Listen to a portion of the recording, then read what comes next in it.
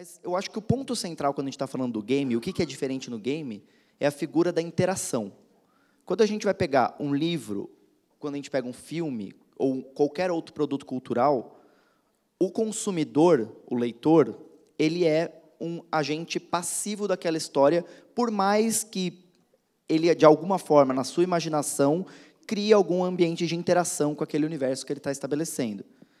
Ainda, ainda no livro-jogo, que você tem um processo de interação de pule para a página tal, volte para a página tal, quando você toma uma decisão, você ainda está é, consumindo uma história pronta. Você não está emergindo da sua interação própria a narrativa daquele jogo. Então, o primeiro ponto que eu queria estabelecer para que a gente entendesse o que, que, tem diferente nos games e, por fim, também entender por que, que eles são tão atrativos especialmente para uma faixa etária mais jovem, é, é porque que esse elemento de interação muda tudo na narrativa. Eu acho que o primeiro ponto, quando a gente fala dessa mudar tudo na narrativa, quando a gente está falando de elemento de interação, é que, dando um exemplo que todo mundo deve conhecer, Super Mario. Alguém aqui não conhece Super Mario? Todo mundo conhece. Você está jogando com seu amigo, e aí você vai pular num, de um precipício e você cai.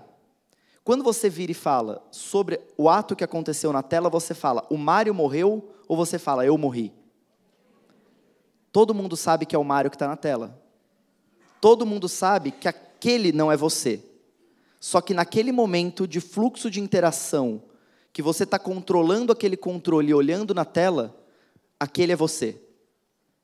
E esse elemento de imersão que o ato de jogar e o fluxo de imersão que esse ato de jogar gera na sua mente te transporta para aquele universo. Por mais que aquele, aquele universo seja absurdo, por mais que aquele universo seja 2D, por mais que aquele universo sejam pontos pulando na tela, como no caso do Atari.